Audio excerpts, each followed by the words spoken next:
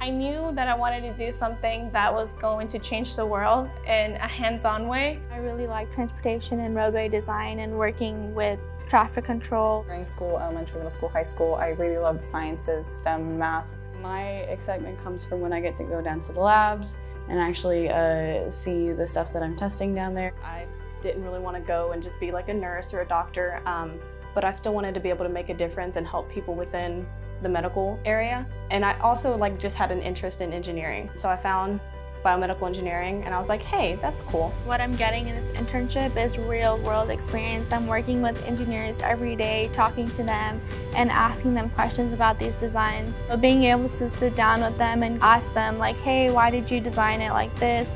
Or what made you come to this conclusion. I have learned so much that I would not have known in class. Being able to work side by side with engineers, see what it means to be an engineer in this environment and in manufacturing in general has really helped me understand my major itself and how to kind of grow within it. It's no longer just kind of textbooks, but more kind of applied and hands-on and real life. I do a lot of work in the R&D lab helping redesign a test fixture at the moment sometimes you can take the most simple concepts that you learn in class that you're like, ah, when am I ever going to use that? And just kind of build on them until they're this really cool design or complete device. In the summer, I'm working in the Kaizen team. Uh, it's the material flow of how everything gets put on the assembly line. It sounded really easy when I came into it. It was kind of like, you're just going to rewrite the process, you know, typical industrial engineer stuff.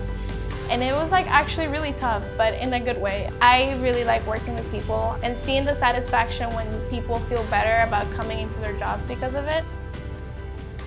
Cullen College of Engineering prepared me for this internship by providing me with the hands-on experience and the education required in order to succeed. As a U of H alum, I love recruiting at the University of Houston. I also suggest students to come see me at the career fair but more importantly, come make an impression on me at a student org meeting. That is how I remember almost all of my interns. UH has great connections with the industry and it has allowed me to have a more personal connection with everyone here. Just talk to everyone, get to know people, even if it's not necessarily what you think that you want to do. I grew up in a small town, very small town, um, and so we didn't have a whole lot of opportunities to like communicate with professional people. I've grown a lot more comfortable communicating in the professional manner.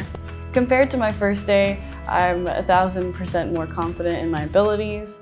Going into this, my manager told me if anything, throughout this experience, I'll at least know if I don't like it.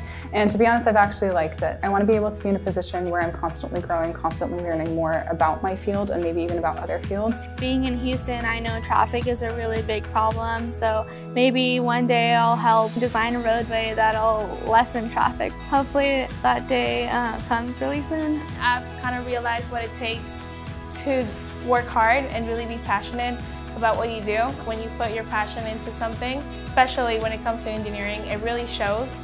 People see it and it can be tough sometimes and things won't go your way, but definitely at the end of the day, it's worth it.